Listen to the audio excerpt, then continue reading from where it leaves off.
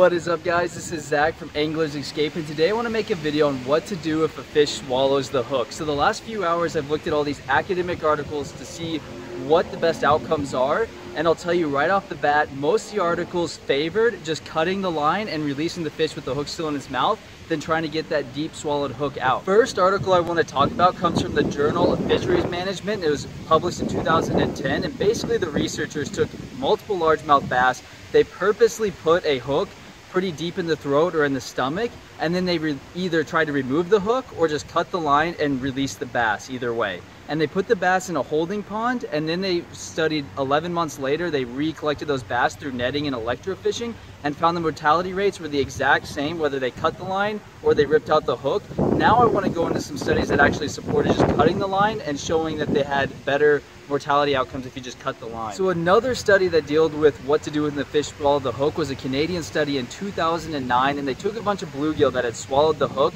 Some of those bluegill they took out the hook and some of them they just cut the line and released the bluegill and then they captured, recaptured these bluegill in either 48 hours or in 10 days and of the bluegill that they removed the hook, they found that 33% died in 48 hours, and then within 10 days, closer to 50% died.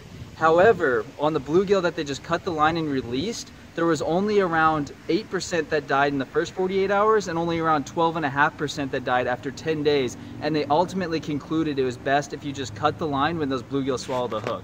All right, another study that supports the idea that you should just cut the line when a fish swallows the hook was a 1996 study on rainbow trout. They took a bunch of rainbow trout that had swallowed the hook I think there was 88 in total, and then they released the rainbow trout after either A, removing the hook, or B, just cutting the line and releasing them. And they found there was a 36% decrease in mortality after two months if you just cut the line and release the trout. And in fact, over half the trout, the hook worked its way out of its system just after those two months. Another interesting study, guys, is what happens to hooks in a fish's stomachs. A lot of people are like, oh, after a few months or a few days, they'll rust out and they'll work their way through the system. Well, there was actually a study done on sturgeon where they re-replicated the stomach environments of a sturgeon, and then they put different types of hooks within this acidic environment, and they found with after a year, these hooks had 0% or zero tensile strength, meaning that any force at all just crumbled the hook up. So really after about a year of the fish's stomach environment, it did rust away most of these hooks. Now these were Gamakatsu, I believe 5-aught circle hooks. Now this might be a little different for stainless steel, but it does show that the hooks do dissolve in their stomach after a prolonged period of time. All right, guys, and the fifth and last study I want to talk about is what to do when a bass or a pike swallows a big old crankbait. So at Carleton University, they basically put these crankbaits deep within a pike's throat, and they had little transmitters on the crankbait. Then they released the pike into a holding pond, and they found on average after two to three days, these pikes were able to spit out those deep-seated crankbaits, and they were able to collect them through the transmitting.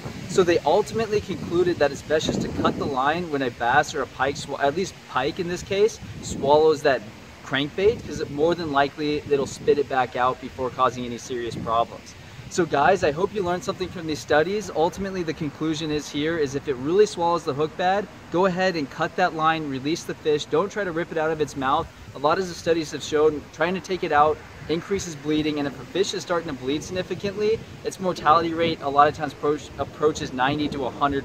So it's a lot better just to cut the hook, release it. Now there's a couple things you can do to kind of help with avoiding gut hooking a fish. So one of those mechanisms is using circle hooks over J hooks.